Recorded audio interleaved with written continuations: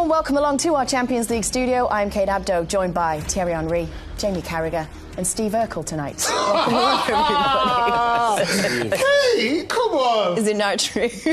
Look at- Wow. no? Wow! I know. Steve No, Urkel doesn't know about Tom Brown, does he? One What? used to change. He used to transform himself to what's the name of the what? No, you guys don't know. The, No, that's when. No, forget it.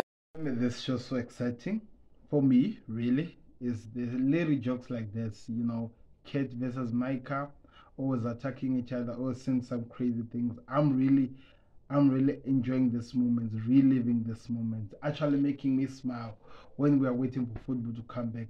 So. Let's hear what Steve Urkel and this guys were gonna say. There's a video that is coming. Check out some things that we're doing the Football Connect. Click that like button, subscribe to the Connect. I'm out. Peace.